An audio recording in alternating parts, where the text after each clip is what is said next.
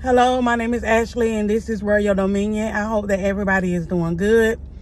I just want to say hey to you all on this good Saturday, this great Saturday that God has made, this day that God has made. You know, I'm just rejoicing, especially because it's beautiful outside, period, you know. But other than that, like, I'm rejoicing because God chooses to love us at our worst, right? It's like we think about God and we think about how God has no choice but to love us because his word says that he first loved us, right? But God chooses to love us when nobody else do, don't, or did. And um God loves us at our worst even when we don't understand, even when we can't explain it, even when we don't have any words to say, even when it's inexpressible, even when, you know, we are not determined as determined as we should be, or we're not as busy as we should be, or we don't understand the way that we should be understanding. God still loves us at our worst. God loves us at our best and he loves us at our worst. And for that, we ought to give God the glory. Amen. And, you know, I'm just, you know, out on today enjoying my day because I rarely get a Saturday off. Like I work Monday through Friday, but you know, I rarely get a Saturday to myself because my Saturdays are busy as well.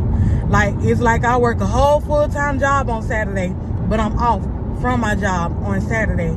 And so today is like my first Saturday in a while being free because I barely have Saturdays off. Sunday, I'm back at it because I serve in ministry. So it's like serving in ministry is a full-time job too, right? But Saturdays, you know, that's like a day that I get off to myself, but it's rarely that I get a Saturday to myself. So today, I got a Saturday to myself. So I went out and I ran errands, but the errands that I ran, you know, is not stuff that I had to actually do to get done, you know, before the weekend is out. I just went out and I enjoyed my day, my free day, right? And I'm on my way back home and it's just still so beautiful. It's like, what time is it? 6.30 in the evening and the sun is still shining so brightly as if it's 12 o'clock in the noonday. Right? Excuse me. So i said all this to say this. Whenever you are going through still praise god. Whenever you don't understand still praise god.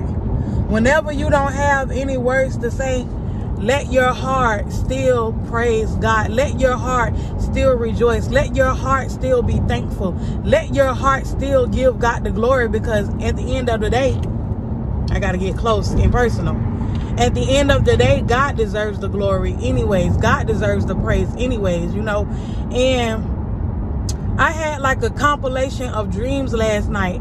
And in these compilation of dreams, there is like only one common, what you call it, theme or one common goal or one common, you know, message that God is trying, you know, that God relayed to me, that the Holy Spirit relayed to me, that He want me to relate to anybody who I come across.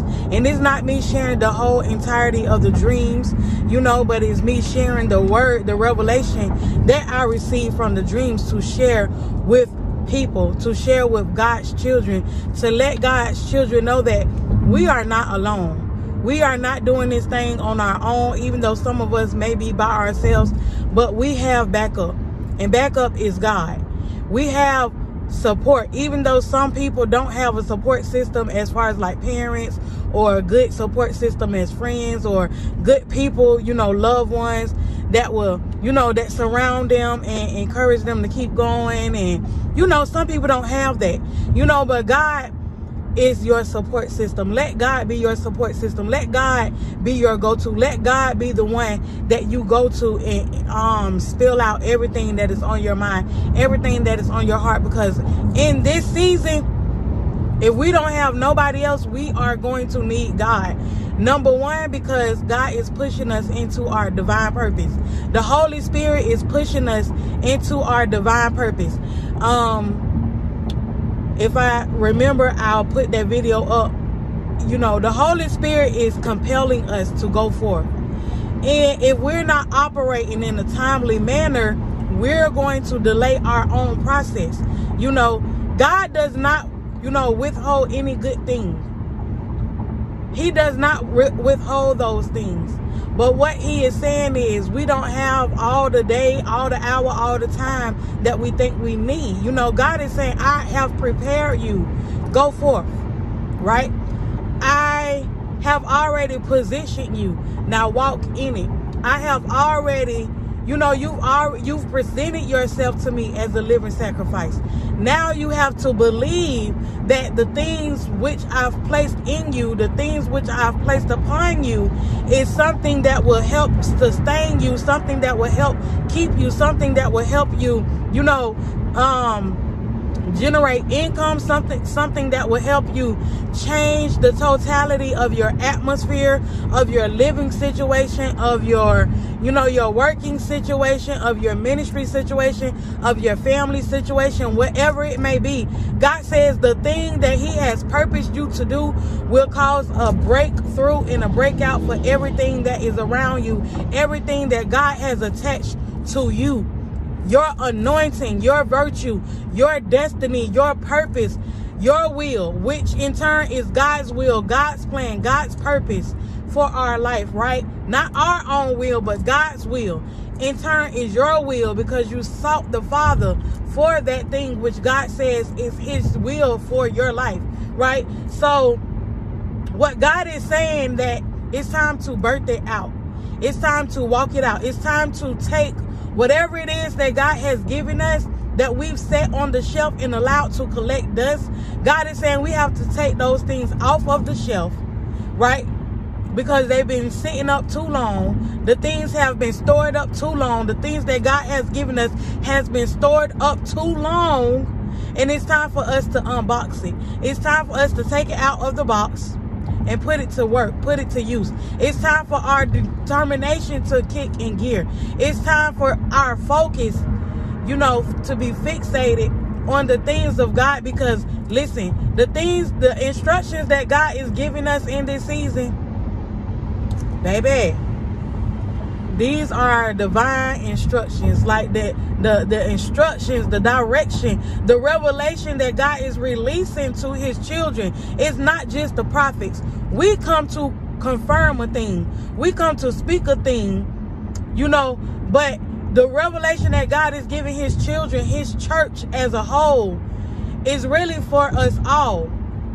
You know it is for us all because we are servants of the most high god right but our eyes got to be in tune with what the Spirit of the Lord is saying. Our ears has to be in tune with what the Spirit of the Lord is saying. Our heart and our minds have to be in tune and perceive what the Spirit of the Lord is saying. And we have to be able to push start. Like my car. Thank you, Holy Spirit. When I get in my car, I don't have to take the key and, and turn the ignition. Right? All I have to do is push the button and it starts up. God is saying your hands were made to push start. The things that I put in your hands, all you have to do is push start it. That's all you have to do. I've already given you the keys. You got the keys. You have the keys. All you have to do is push start. Like, that's all you have to do.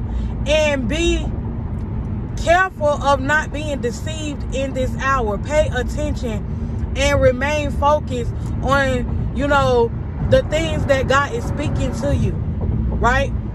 The, the words that God is sending to you, whether it be by nature, whether it be by his holy word, his scriptures, whether it be by his audible voice, you know, because we ought to be in a place where we can hear the Lord speaking, where we can hear the Spirit of the Lord speak to us. You know, whether it be by signs, and wonders, God is still speaking. And God is speaking more ways than one. But we have to be in tune, you know, with God. And God is going to use you. Yes, you. God is using us to deliver our families. God is using us to help save our families. God is using us to help bring our families out of the muck, out of the desolate places, out of the weary lands. God is using us. Like, I've had so many dreams of me laying hands on family members. Not just family members, but I've had dreams of me laying hands on a demon possessed person and them being in deliverance. I've had dreams of me laying hands on people working in deliverance ministries the same ways that I've had dreams of me laying hands on family members and speaking, you know, in tongues, laying hands on family members. Like God is showing me, not just me, God is raising up a generation who are going to be deliverers, like Moses was a deliverer. Moses wasn't only a prophet, you know, Moses didn't only just speak the word of God verbally, but Moses delivered God's people.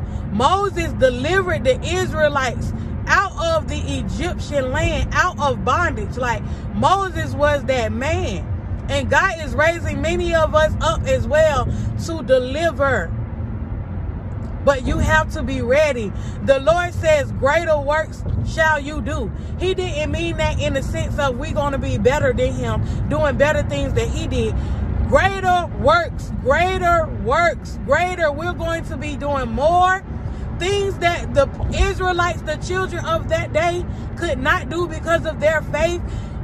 We're going to be doing those things because of our faith, because we believe. Greater works shall you do. But you have to believe that you are called in that number to do greater works. Listen, you all, there is so much to talk about when it comes to God and when it comes to His love and when it comes to His plan, His purpose, and His will for our lives, right? But we can go on and on and on and on. But really, now it's time for us to do the walking. Now it's time for us to walk it out. Now it's time for us to put it in action. Now it's time for us to put it in motion. Now it's time for us to do those things that God is calling us to do. Like if God called you to write a book, go ahead and drop a few lines on that paper. Go ahead and start typing your stuff up on your Microsoft Word document, Google document, whatever you do. If God has called you to open up a business, listen, Go ahead and do that thing because there are many people, whatever God called you to do, maybe He called you to be an engineer, right? To start up some things, to invent some things. Like, you know, maybe He has called you in the uh, customer service industry to provide your, your godly service, your kingdom service to people like who will appreciate your customer service. You know, everybody ain't preachers. Everybody ain't called to hold a microphone and preach. Everybody ain't called to, you know, travel across the world and, and, and, and evangelize. But our evangelism is in, you know, the works that we do the serving that we do to God's people. That is our evangelism. What we serve and how we serve it.